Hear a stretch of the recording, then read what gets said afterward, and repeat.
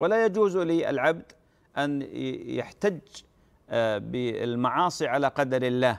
يقول الله قدر علي المعصية فيذهب إليه. هذا شأن المشركين. قالوا لو شاء الله ما أشركنا ولا آباؤنا ولا حرمنا من دونه من شيء. ولذلك المسلم يجوز له أن يحتج بالقدر على المصيبة مثل ما احتج آدم على المصيبة. لكن يحتج بالقدر على المعصية لا.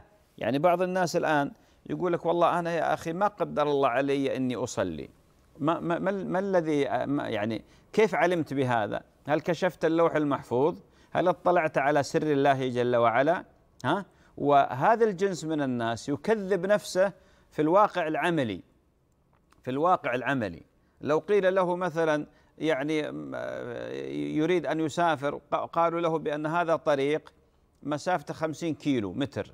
وذاك طريق مسافته 200 آه، كيلو 100 كيلو متر أو 200 كيلو متر لكن هذا الطريق الخمسين آه، كيلو أو أقل خطير. فيه مخاطر فيه لصوص فيه قطاع طرق فيه آه، يعني مفاوز وعقبات ومهالك ومسارب.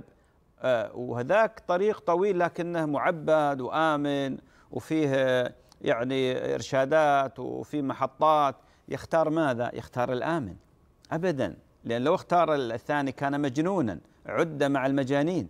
ولذلك بعض الناس الآن يقول لك يا أخي ما الله قدر عليه سبحان الله. مثل ذاك الرجل الذي قدم لعمر وقد سرق. سرق وقدم لعمر فقال يقول لأمير المؤمنين عمر يا أمير المؤمنين قدر الله عز وجل علي السرقة فلم تقطع يدي؟ قال قدر الله علينا أن نقطع يدك قدر الله علينا أن نقطع يدك فقطع يده. والمقصود بأن الإنسان لا يحتج بالقدر على المعاصي والآثام. يقول والله أنا ما الله كتب علي أصلي سبحان الله. مع أنه قادر وعمليا مثل ما ذكرت مثال أمثلة كثيرة أمثلة كثيرة.